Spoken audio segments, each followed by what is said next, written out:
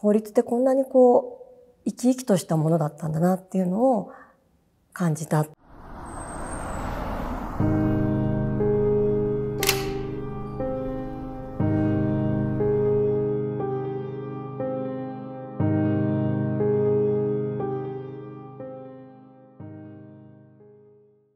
裁判官として任官をしまして、鹿児島地方裁判所家庭裁判所ですとか、あの、横浜地下祭の小田原支部ですとか、東京の地下祭、担当したものとしては、民事事件、刑事事件、幅広く、さらに家庭裁判所でも、あの、少年事件、家事事件、いろんな種類の事件を担当させていただいて、現在は総務省の外局にあたります公害等調整委員会という委員会に出向しておりまして、公害紛争に関する事案ですとか、そういった事件について判断をするためのお手伝いをさせていただいております。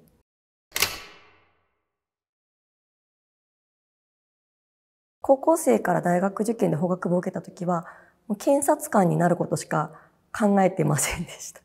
もともと、あの、推理小説とか、あの、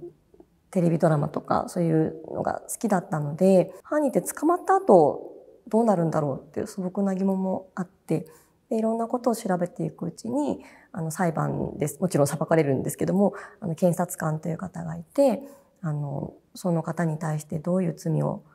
あの、負わせるのが一番いいのかということ、もちろん有罪無罪ももちろんですけども、そういったこともあの考えて対応していくような立場の方がいるということを知って、あ、私この仕事に就きたいなと思って、それが一番最初に放送を目指したきっかけでした。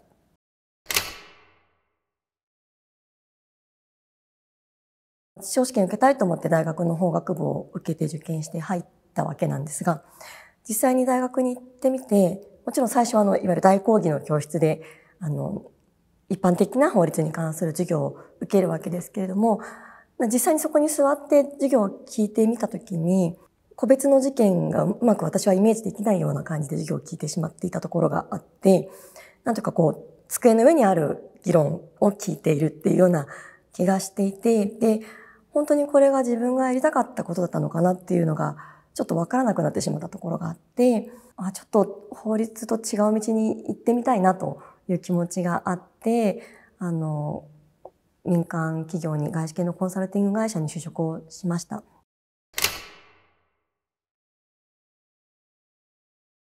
そこでのお仕事はすごく刺激の多いものでしたし、学ぶところも多くて、とても良い経験させていただいたと思っているんですけども、当時はコンサルティング会社は IT を中心に使って、あの、業務改善のお手伝いをしていくわけですけれども、やっぱり自分は IT を専門にやってきたわけではないので、何か自分で勝負ができる武器になるようなものが欲しいなと思うようになりました。で、そこでじゃ自分は何だったら武器にできるかなってことを考えたときに、やっぱり一度は目指した放送の世界で、あの、検察官ももちろんありますけども、他方その民間企業に出てみて、弁護士という職業もすごく魅力的だなと思いまして、その、特にコンサルティングは IT ですとか、あの、業務の関係で、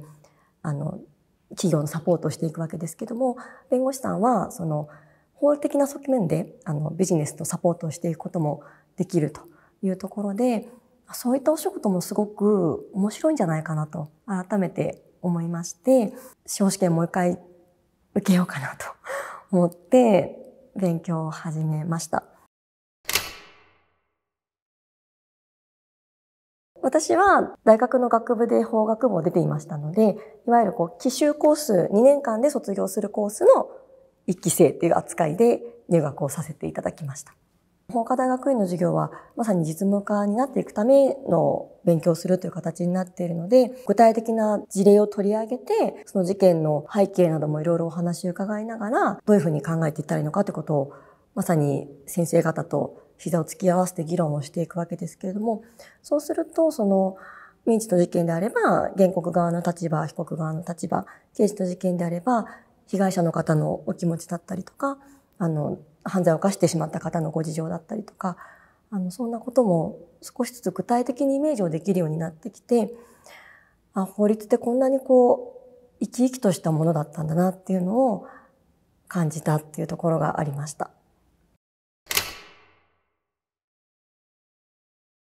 もともと検察官になりたいという気持ちも持っていた時もあったので、検察官の実務教官の先生にお会いするというのはすごく楽しみでもあったし、あの、緊張もしたんですけれども、当時ご担当いただいていた鶴田紗子先生という女性の検察官の先生は、本当にこう、お人柄的にも、あの、一人の女性としても、温かさと厳しさと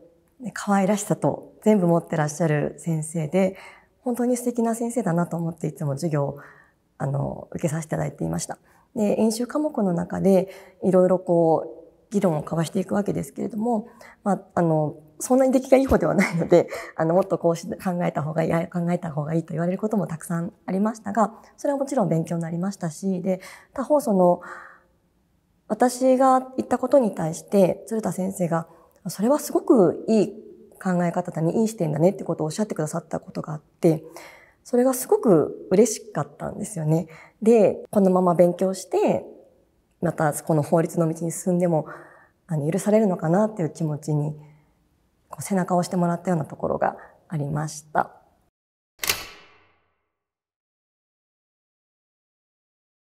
弁護士になろうと思って、今度ロースクールに入って で、あの、司法試験にも受かったのに、裁判官になったと。実際に司法修習が始まると、あの、ロースクールで勉強したその、弁護士、検察官、裁判官のお仕事をよりさらに詳しく実際に現場で見ることができるんですけれども、そういったお仕事を見る中で選択肢になかった裁判官の仕事っていうのがすごくこうもしかしたらこれが自分がやりたいことなんじゃないかなと思えたところがあって検察官も弁護士もやっぱり誰かの立場に立って誰かのために主張を立証してというような仕事をしていくところがあってそれもすごくその方のためになるところがあり素敵なお仕事だともちろん思うんですけども裁判官はあのその双方の立場が言っていることを聞いて真ん中の立場で中立公正に考えた時にどうするべきかということを判断すると。すごく責任が重い仕事ですけれどもやりがいもある仕事だなと思っていましてであの実際に現場であの見させていただいた裁判官の皆様もすごく素敵な方々でしたしもしなれるんだったら自分も裁判官になってみたいなと思って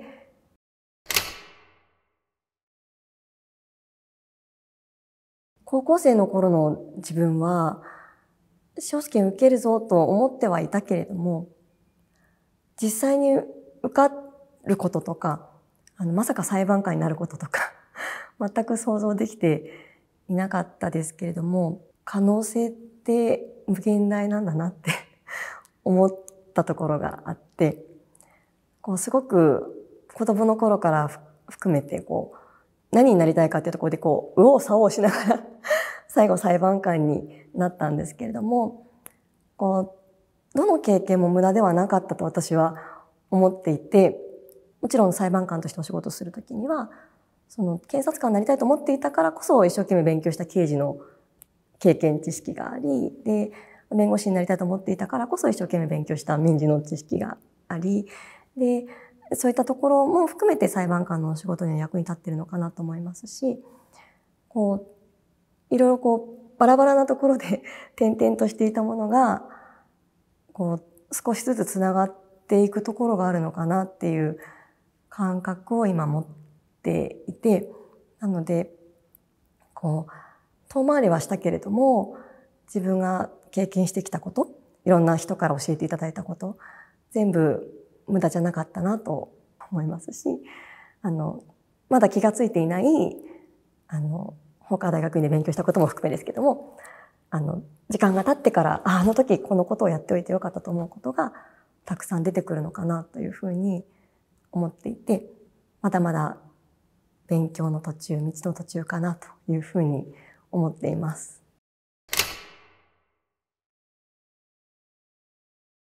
自動社会に出ていた私に対しても放送になるチャンスを与えてくださった場所ですし、もう一度放送にチャレンジをして放送になって頑張っていく道を選んでいいんだよ、そのまま頑張っていいんだよと背中を押してくれた場所だと思っています。